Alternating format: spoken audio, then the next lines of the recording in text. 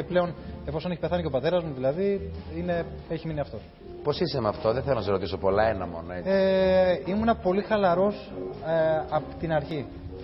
Επειδή δεν ήταν ε, και τόσο άμεσος θάνατος, ήταν. ε, Δόθηκε ο χρόνος ήταν για καρκίνος. αποχαιρετισμού. Ε, που αυτό έχει, έχει δύο όψεις. Ε, ο μισός θάνατος είναι όταν σου Το λένε, μαθαίνεις πια, όταν σου λένε προετοιμάζεσαι. ότι έχει καρκίνο και ο άλλος μισός είναι μετά.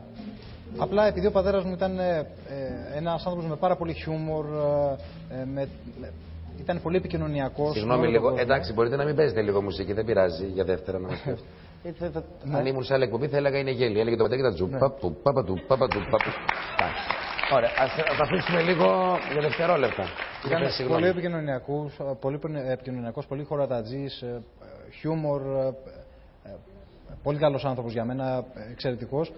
Νομίζω ότι με τα θάνατον θα ήθελα εγώ να είμαι όσο χαρούμενος γίνεται.